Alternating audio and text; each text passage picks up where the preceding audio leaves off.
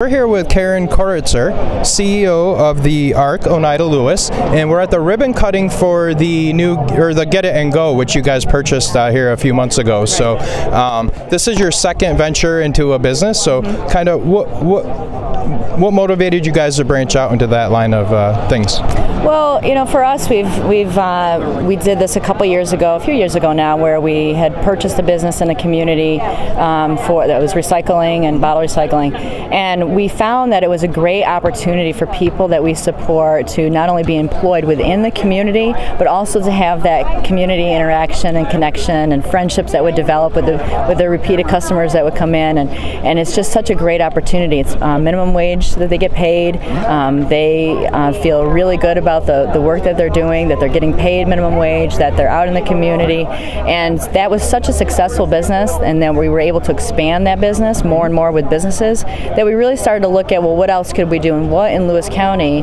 could we do that, that could have that same type of feel and pattern. So um, it was actually a, uh, one of our staff and our employees who told us about Get It and Go, and that the, the current that uh, the former owner had been looking at maybe um, getting out of the business and um, looked to us as maybe a partner.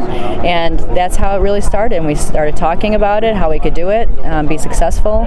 Um, we have to get our numbers guy involved and our staff involved to make sure we can do it. Um, we found the people that we support who were interested in being employed here and also helping out on the on the front end before we open the business every day. And it's just been such a win-win all the way around. And it's great, great food. i am not saying that you know just because I'm the CEO, but I've been here two or three times since we've opened, and and it's just amazing. And we hear such great. Um, uh, you know, people just are just so really proud of the work that we're doing, but also really uh, interested in coming in here to see the people that we support, and then also having great um, food. Perfect. So, how many people are you guys actually employing here at the Get It and Go location? You know, I think we are actually looking at two to three, um, two to four people uh, ultimately. Uh, we do have a couple people who are employed now, um, and then we also have some people who um, help to do some volunteer work out of our Day hab program that's up the street, and they help to do the food prep early on, you know, to sort of right. help the guys that come in when the when the store opens and when the deli opens. Um, so all of that together, you know, has been a nice team effort, and I think um, that's something that we're really very proud of is our ability to have that team, um, that teams working together right. to support a business, to to feel like we're you know entrepreneurs and business you know right. owners in the community, and that's not something that you usually see with nonprofits, right. uh, human services organization. But we've decided to make the shift and, and really for the goal to get people out in the community uh, and employed. And is this intended for long-term employment for the employees here, or is it more like a training employee? Do you are you trying to work uh, certain numbers of people through the program? No, or? I think that whenever um, somebody is employed here, if they want to stay here for you know the next 25 years or mm-hmm. whatever, um, that would be great. That's that's perfectly. Um, that would be actually the, the goal. We want people right. to be so interested in working here and to keep coming back and and happy about their job and and um, want to you know be employed for the long term. Right. So that would be great. Um, we do have uh, some people that help us out in um, early in the morning, you know, to get us ready, and that can be some um, vocational training uh, for us. So uh, for those people, so it is um, it's a nice um, opportunity, I think, all the way around.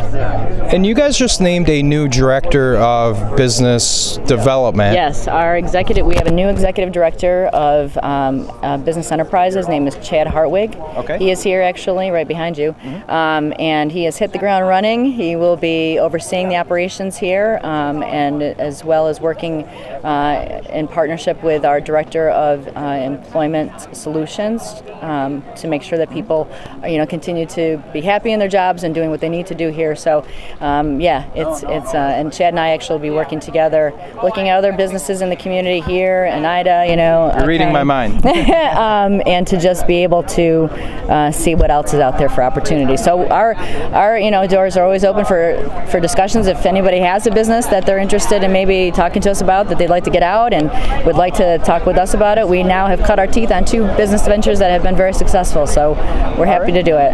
Well, great, Karen, and thank you very much for taking the time to speak with us today. and Thank good luck with your out. new venture here. Thank you very much. Yeah.